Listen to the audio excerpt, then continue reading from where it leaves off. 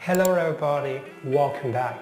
The most important thing right now is Tom's backpack because it contained the secret between him and Poppy which could reveal important information to everyone. Whoever took it from Hollis' hands might be the one who killed him, as their goal was to take the backpack and hide this secret. This secret is related to Poppy, making her the first suspect we think of. Could it be that she killed Hollis and Tom? If that's true, then Poppy is too ruthless. She appears weak on the outside, but inside she is a dangerous criminal. However, there are also other highly suspicious people, namely Jack, Li and Justin, who were all at the restaurant when Tom died.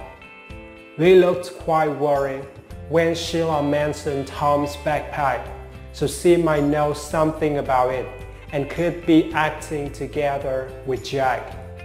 Li and Jack are also hiding some secrets, so they could be the killers as well.